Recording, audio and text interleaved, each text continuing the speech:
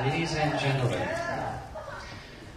the Animal Club is pleased to present its opening act for tonight's performance. The K through 3 group from the Mary Frances School of Dance.